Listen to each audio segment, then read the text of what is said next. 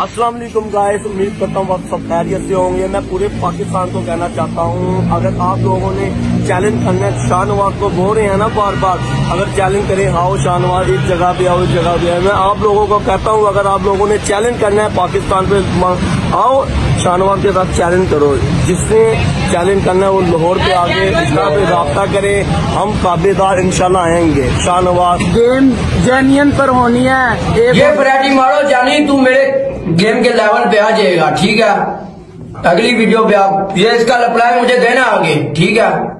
बाईस साल Shahnawaz one wheeler और टिकटाकर अपने ही दोस्त के हाथों कत्ल हो गया।